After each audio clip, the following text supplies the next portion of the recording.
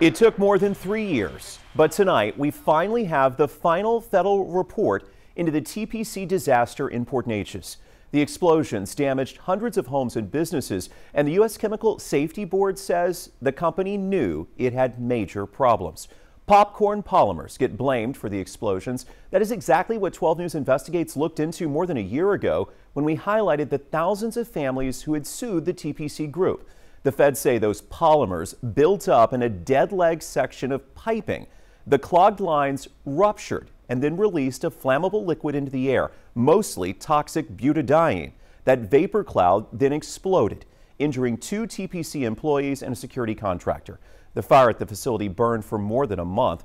The CSB chairperson, Steve Owens, said, quote, the incident at TPC was the result of a known safety hazard, popcorn polymer, that was poorly managed and controlled at the facility. The result was a catastrophic incident that caused hundreds of millions of dollars in damage to the facility and nearby homes and businesses. Meanwhile, those thousands of families who sued the company say they're still waiting for justice. We know TPC Group filed for bankruptcy protection last June in the state of Delaware that paused the lawsuits. But the victims' attorneys tell 12 News the suits are expected to move forward soon. We'll show you some of the damage, continuing coverage on the, uh, the blast and the aftermath and those lawsuits online now at 12newsnow.com.